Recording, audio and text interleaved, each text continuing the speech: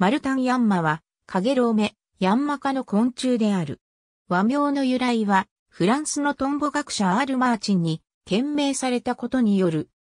オスは、全長65から 81mm、腹長43から 57mm、高視長41から 47mm、メートル、メスは全長72から 84mm、腹長53から 63mm、高視長44から 50mm であり、同族のトビイロヤンマより一回り大きい。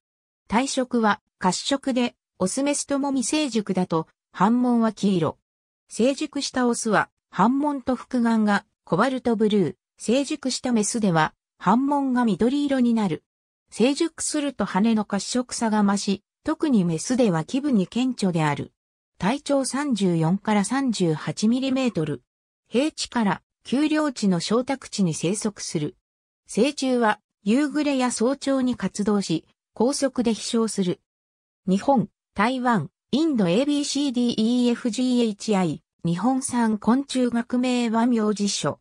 昆虫学データベース昆虫九州大学大学院農学研究院昆虫学教室。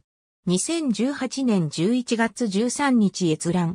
ABCDEFGH 現職日本トンボ幼虫成虫大図鑑北海道大学図書館公開659から 660p ISBN 4から832997718 ABCDEF ネイチャーガイド日本のトンボブニチ統合出版 192p ISBN 978から4から829901199各都道府県でのレッドデータ。